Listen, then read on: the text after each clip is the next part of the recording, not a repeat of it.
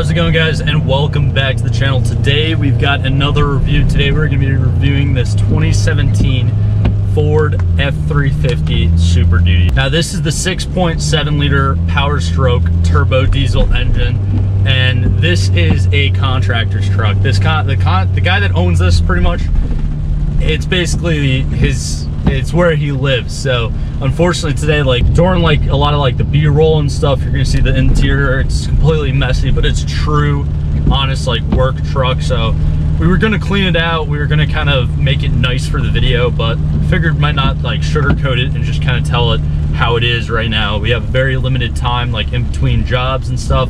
So Right now we're kind of driving this thing and it is an absolute beast. Handles like a freaking tank. This thing can pull up to 32 and a half thousand pounds. It's also got a payload rating right over 7,600 pounds. I don't know how much it weighs, but I mean, I'll probably edit it on the screen right now, but you can feel all the weight in every freaking turn. And probably the coolest thing about this is the power numbers that it's making. So again, it's the seven, uh, 6.7, excuse me, turbo diesel engine. So there's a big ass turbo in there. The turbo gauge on the dash, actually the gauge goes up to like 40 PSI. So I don't know what the max PSI is from factory. But when you kind of step on it, like you hear the turbo spool up and it kind of it actually sinks you back into the seat which i find so cool that you can kind of like get that reaction out of it while driving it now this thing again it, it is a diesel. It's got 216,000 miles on it just under 217 actually. The guy who owns this all over the country basically their company they do work all all across anywhere really. So he's always traveling with it going from hotel to hotel job site to job site. And this is actually a foreman's truck as well so it's constantly carrying like a big ass like 20 something thousand pound trailer full of equipment. So it, it's definitely seen a lot of abuse and seen a lot of work throughout its day and again even though it's only a 2017 it's still got so many so many damn miles on it but a cool thing about a lot of your diesel engines as you put more miles on it on them they actually tend to run better and they, they tend to be like more reliable, which is quite interesting because that's an entirely different dynamic that, that you get from like a normal uh, gas engine. But going back to the power numbers, this thing makes 440 peak horsepower, 20, 2800 RPMs, which that's not too impressive until you look at the torque. And it makes a whopping 750 foot-pounds of torque only at 2000 RPM. So as soon as you get on it, it, it kind of throws you back in the seat and then once that turbo spools up it it really like starts to get going now this is the dually so you got the two uh, or I guess four total tires in the rear big ass truck it's got the like goose you can attach the gooseneck trailer to it and everything big bed and again there's currently like stuff in the bed you'll see some of it like while we're while we're doing the b-roll and editing in here but it's it, I mean it's it's freaking sick. Now I personally I haven't really you know reviewed a boatload of trucks on the channel. I mainly do cars, you know, SUVs, even motorcycles, like things of that nature, modded vehicles. But this feels like, even when you're in it, it feels like the truck of all trucks. It's just so damn massive. I know, I'm sure there's gonna be a lot of people out there that are like, oh, well, this one's bigger, this one's bigger, whatever. But the F-350, obviously, it's the biggest one in the F-Series lineup for your Ford pickup trucks. Now this one, we do know it, it kind of has like the gator skin seats. So very, very comfortable. And also there's some like added features and everything, but again, it is older. So like the whole infotainment system in the front is pretty much broken. So again, this is kind of like a bad I guess F350 to do a review on because it's seen so much like work and abuse. But I'm trying to put out a lot of content for you guys, trying to get back to like a normal uploading schedule. So I apologize for that.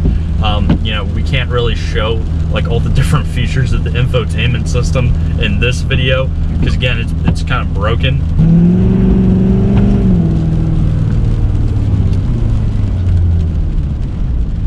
But yeah, even doing like that that little pull there, it, it really does throw you like back in the seat. Now one thing, like I'm coming up to a dead end here, and this is just so funny. Like for me, again, used to reviewing conventional vehicles, things that people drive on the roads every day, and now trying to pull a K-turn on this little damn street in a park. There's no backup cameras or anything. I mean, normally when the infotainment system does work, you do have that backup cam, so that is nice. But again, this one, we're working with no backup cam, and I just pulled up to a dead end in the middle of some park. So I'm trying to make like a five point turn and back this thing up without hitting the wooden fence behind me. And it is just an absolute goddamn tank. Yeah, let's let's put it this way: you're not gonna have something like this if you're living in like the city or like in New York City, uh, LA, something like that. You're not having something like this. I know a lot of people, a lot of the guys out in Texas or whatever, you know, you love your trucks, but I can't imagine like commuting with this thing in and out of urban areas a lot. Now again, this mainly sees highway miles. It's a lot of their job sites are typically in like rural areas but this thing is a blast to drive. Now the guy who drives this is actually basically my relative and I'm a huge Packers fan and we went out to uh, Wisconsin all the way from with uh, from New Jersey with this over this past January. So I've I've pl I've spent plenty of time in the passenger seat, not necessarily driving it, but I have to say like Green from New Jersey to Green Bay is about like 14, 16 hour drive and it was super, super comfortable. I know, again, that's not an experience driving it per se, but uh, it's very, very comfortable with these seats. And with this cab, like it's like kind of like the extended cab or crew cab, um, but it's just, there's so much room back here. With his crew, with the guys, if he's picking them up, going to a job site or whatever, there's plenty of space back there. It's an absolute freaking tank. So there's plenty of interior space if you're looking for that. You do have the uh, like gear selector right on the column as well. Uh, there is a manual mode. There is like your second and first gear options for, you know, I guess getting out of muddy situations, off-roading, whatever, or just trying to get that torque up, trying to get the turbo to spool up if you're towing something. But for the most part, driving this thing is extremely, extremely simple. Again, you have to be conscious that you're not driving a small SUV or a car or anything. You have to swing it wide around turns and all that. Um, but for the most part, it's very intuitive, very easy to function, and extremely, extremely damn comfortable. And back in 2017, you could probably pick one of these up from the dealership, probably around like the mid 50s, low 50s. The original um, MSRP was actually 49.9. Now, yeah, that's not decked out on like the higher trim. I know this one is definitely like a higher end trim. You know, a couple other added features here, again, which we're unable to really show off that well because uh, the front, the, the damn infotainment system is broken. Um, but yeah, I mean, for the price, I could definitely see, you know, you being a contractor or owning a construction company or what have you. Uh, these are really good, really, really good bang for your buck. And again, it being a diesel, it's got so much damn life in it. Uh, now, obviously, 90% of those 217,000 miles have been highway miles, but still, I mean, there hasn't really been any like major major issues besides like maybe cleaning injectors or replacing the injectors fully.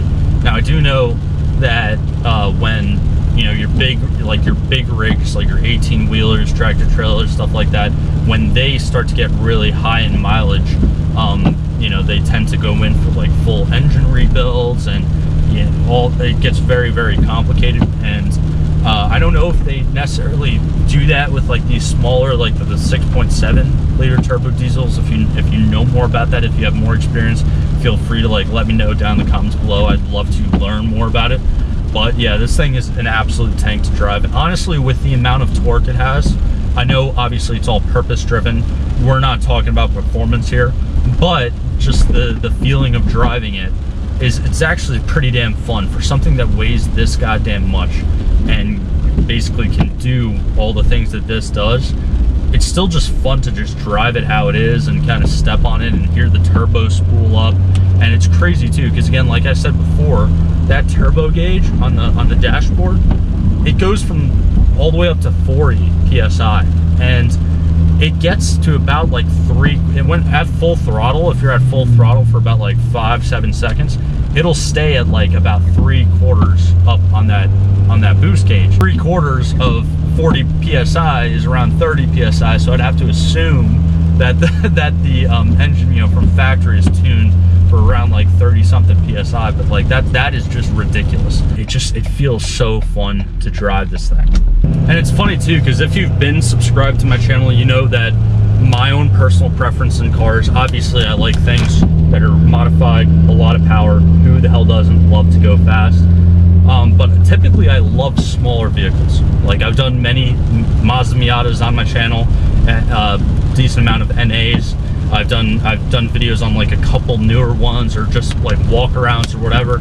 And I love Miatas. I have a Mustang, which is kind of a light car, not really like the lightest out there, obviously. But I love light, small, little nimble vehicles.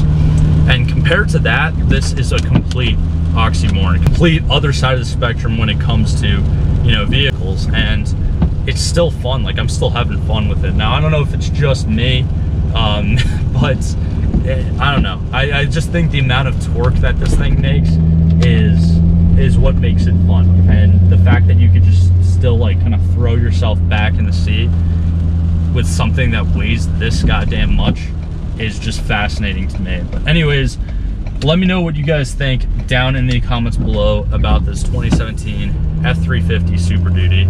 And while you guys are down there, definitely be sure to leave a like, comment, subscribe, all, all that stuff. It, it really does help me out a ton as a smaller car channel here on YouTube.